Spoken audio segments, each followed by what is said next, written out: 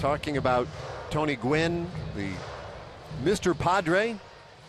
Yeah, there's the statue that is out over the right field wall.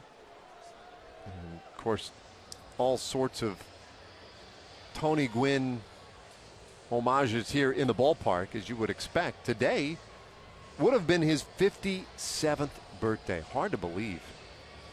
Would have been just 57 today. 20 great years with the Padres. Eight batting titles, 16 All Star appearances. They're dedicating a, a statue of Tony Gwynn today in his hometown of Poway, I think is how you say it, which is not too far from here. Lived in Poway for 30 years.